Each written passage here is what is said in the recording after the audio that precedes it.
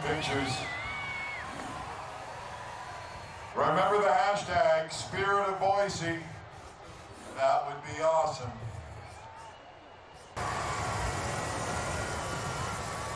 We also want to thank uh, the Office of Governor. Governor Brad Little was here this morning, Swire Coca-Cola. Our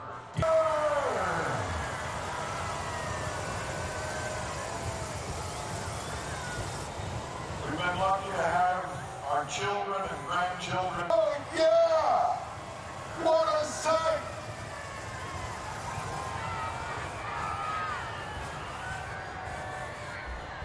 We thank our sponsor,